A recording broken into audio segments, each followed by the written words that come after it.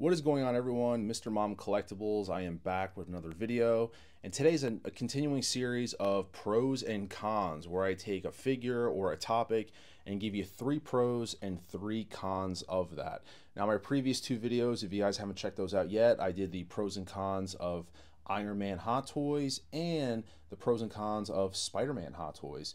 We're going to continue that trend today and we're going to be picking another Hot Toys character that has had multiple versions made, and we're going to do a pros and cons list. And we are going to be looking at the Dark Knight himself, uh, Batman. Now, uh, before we get into the video itself, please consider dropping a like on this video and subscribing to the channel if this is in fact your first time and you enjoy the content. That'd help me out so much. And more importantly, drop a comment below and let me know what your pros and cons are to Batman Hot Toys. And let's get into the list, guys.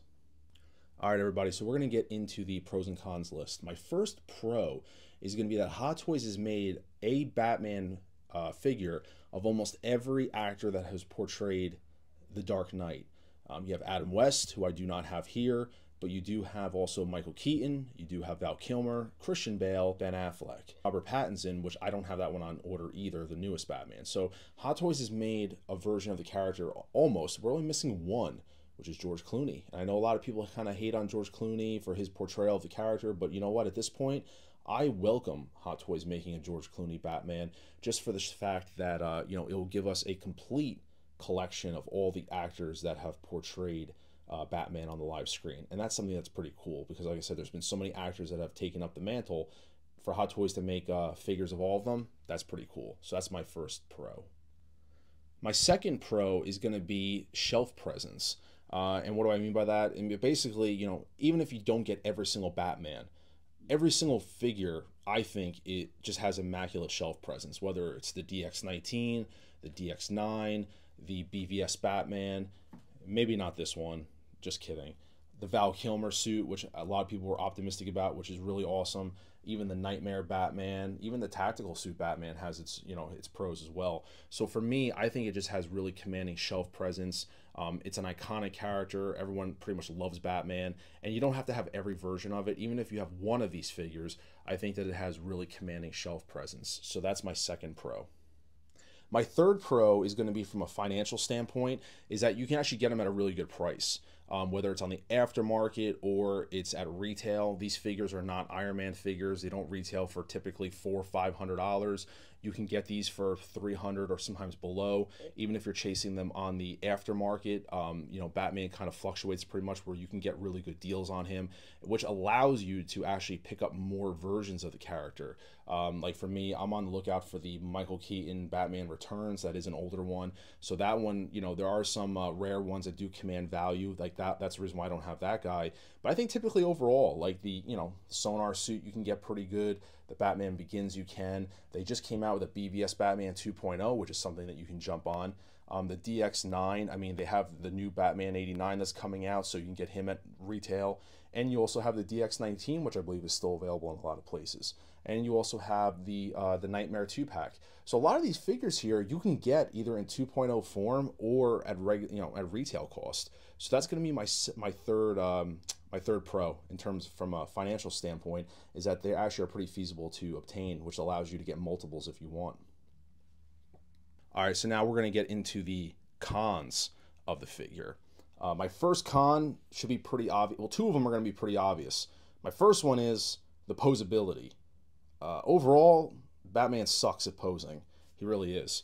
Um, whether it be because you don't want to damage the suit, like the sonar suit, or you know the DX9 because it's all rubber, whatever it may be, or the BVS Batman, you know, or the DX19 just has restriction, or the tactical suit Batman has major restriction. Um, whatever that case may be, he's not a posable figure. He just really isn't. Hence why supposedly uh, two new figures that are coming out: the BVS Batman 2.0 and the Batman 89, and as a matter of fact, also the Batman modern suit from The Flash. It seems that they have acknowledged the posability issues because they are touting on all three of those figures that you're supposed to have better range of motion when posing. So I think Hot Toys is kind of acknowledging, you know, that is a, an issue. Almost every Batman you see in people's collections are museum poses, such as you see here. Um, but that's my first con in terms of that is posability. My second con is something that affected this Batman Begins, it affected this DX9, and it affected the BVS Batman. And what that is, the, cus- the uh, custom capes. All three of those figures have custom capes by various people. But that's another con, is that the Batman cape overall, it sucks also. Whether it's too long, it's too short, the material's not right, should, you know, wire, drape, whatever the case may be. Uh, if you're getting a Batman figure, pretty much nine times out of ten, the, if you're going to do one single mod to the figure, it's going to be getting a cape. Uh, the DX9, for example, people know the cape on that stock is horrendous by Hot Toys. That's a custom cape, drape cape right there, which just sets the character off. This is a Batman Begins drape uh, velvet cape as well, because this came with a wired one that just sucked. Uh, the BVS Batman, that's a drape cape as well, because the material that they made was just like paper. Um, and people even customize the DX19 either to get a shorter cape or to get one made from a different material. Whatever the case may be, pretty much nine times out of 10, if you're buying a Batman figure, you're getting a custom cape eventually. Maybe not right away, but eventually. I know with the Robert Pattinson Batman, people are you know hoping that there's going to be cape customizers out there doing that one because as of now, that one's like paper thin from what I understand, and it's really not everyone's ideal cape. So that's another Batman subjected to the second con, which is the uh, the cape issue. And my third con, which might be an interesting one, some people may not consider it a con, but nevertheless, it is one for me because I love Batman, is the um, availability of Batman. He's not like an Iron Man. He's not like a Spider-Man where you can pretty much guarantee they're going to put out those figures, you know, multiples a year with different variations of the suits, or you know, go, there's so much uh, source material to make because there's a lot more Marvel movies. You know, the reality is, you know, with Batman, you might get an original and a 2.0. That's it. Like this 89 Batman, you're going to get this one, and then you're going to get the upgraded Batman that's coming out this year. That's it for Michael Keaton. Yes, we're getting a modern suit, that just happened to be because he was in the Flash movie. But like this DX19 is a, you know, that's a, a 2.0 or 3.0, whatever that is. And we're getting another one in the armory. But outside of that, you know, there's not many new Batman movies coming out. Yes, we have Robert Pattinson coming out, you know, the new Batman in another year, year and a half. And then we don't know what's going on with DC. So Batman's kind of left in turmoil. Um, we did get a 2.0 of, you know, of um, Ben Affleck's Batman. But at the end of the day, the, the Batman character, when it comes to Hot Toys, you don't really know when you're going to get another one. Um, at this point, it's really much just going into the vault and pulling out old stuff. Is he's not a, a, betting chance like he is with an Iron Man. You can pretty much bet your bottom dollar that Iron Man, you know, Spider Man, you're going to get multiples of those figures. Um, but unfortunately, Batman, I really can't put a short bet that you're going to guarantee to get another Batman anytime soon. So if you're in the market for one and you don't have one, I mean, there's no time like the present to jump on potentially getting one. Like I said, guys, this is my pros and cons list.